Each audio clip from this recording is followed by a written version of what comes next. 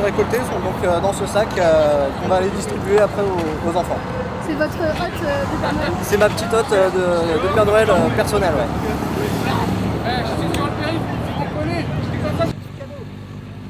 Encore un petit cadeau. J'ai un cadeau mais je l'ai cassé tout à l'heure sur le chemin. Il est là-dedans mais euh, j'aurais aimé. Je crois qu'on va acheter des bonbons. On va acheter plein de bonbons pour tout le monde je pense. On a pris des petites voitures. C'est pour les enfants, très important. Pour leur faire plaisir. On est là pour kiffer et pour les faire kiffer.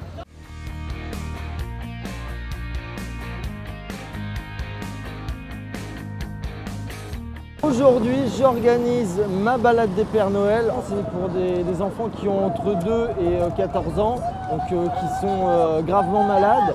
Et justement, bah, nous, le but, c'est de leur redonner le sourire lors de la distribution qui aura lieu par la suite. La communauté motard est super solidaire et euh, il y a cette envie de prouver que euh, rien qu'avec les motards on pouvait aider les, les enfants. Si on peut au moins les aider ou alors leur donner un petit peu de magie avec les balades de Noël, bah on le fait.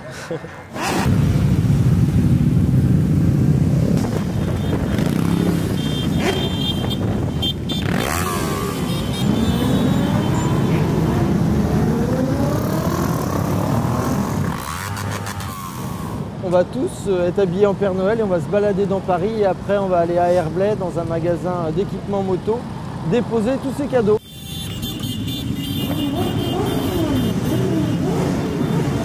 Avec beaucoup de bruit comme on aime. C'était très sympathique. Bon, j'achète le magasin. T'as les, cadeaux Non, c'est collègue. Bonjour par ici messieurs, venez, venez. Merci, merci. Regarde, grâce à ça, tu peux participer à la loterie, il faut juste le remplir et venir le remplir ici, d'accord D'accord, merci. La hotte du Père Noël est remplie, merci. Tac, elle prenez le sac avec, c'est mieux. Je te le rends, je te le rends. Ah ouais. merci beaucoup. Le bilan il est plus que positif parce que je pense qu'on n'a pas doublé le nombre de participants euh, comparé à l'année dernière. Et on est, en tout cas, on était vraiment beaucoup. Et quand je regarde en bas, euh, on a vraiment beaucoup de cadeaux euh, bah, pour les enfants. Et ça, c'est, c'est ce qui me donne le sourire euh, maintenant en fait. En premier lieu, on fait vraiment ça pour les enfants, pour récolter des cadeaux. Et là, le but est atteint, mais à 100%.